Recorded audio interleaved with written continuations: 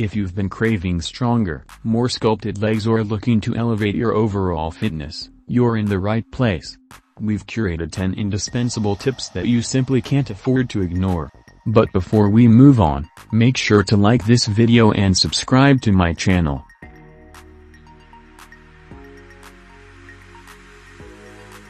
Leg curls do only part of the job in recruiting the hamstrings.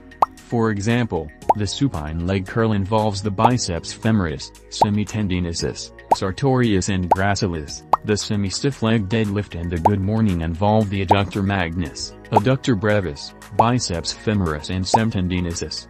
Therefore, your hamstring workouts should involve exercises for both the hip extension function, good morning and semi-stiff leg deadlift, and the knee flexor function, seated and prone leg curl. It appears that the dominant leg of some athletes will often be as much as 20% stronger than the non-dominant leg.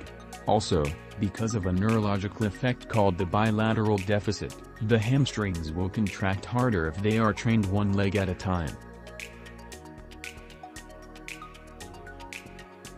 This means the knees must be extended, and the hips flexed in the starting position. Thus, during the standing leg curl, you would need to bend forward from the waist and start with the legs straight before lifting. Stretching the quadriceps, which is the antagonist of the hamstrings, is one way to increase your range of motion, because this will reduce muscle tension that can shorten the muscle. Eccentric training refers to the lowering portion of an exercise, as opposed to concentric training, which refers to the lifting portion. The hamstrings respond well to eccentric work.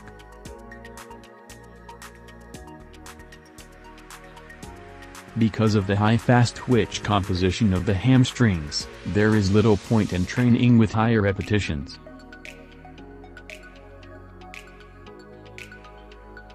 Achieving a balance between the medial and lateral parts of the hamstrings is crucial for leg development and injury prevention. Incorporate exercises targeting both aspects, like hamstring curls and deadlift variations. Balance strength and flexibility with unilateral exercises and stretching, to avoid imbalances that could impact performance and increase injury risks. Variety is an essential requirement for maximal hamstring development, because each exercise offers a unique pattern of overload.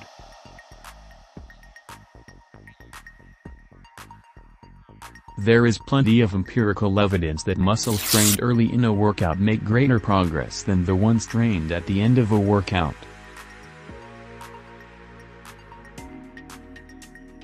The hamstrings have a high fast twitch makeup and thus take a long time for recovery. To comply with the unloading principle, if one lowers the volume after the third week yet keeps up or even increases the intensity, supercompensation will be of a greater magnitude than if the volume was kept constant.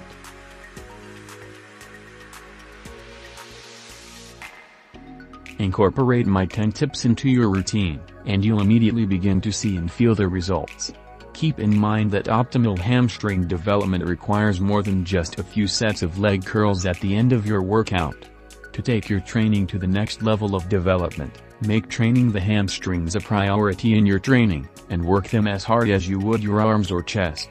If you have any lingering questions about health and fitness, feel free to drop them in the comment section, I'm here to help you on your wellness journey.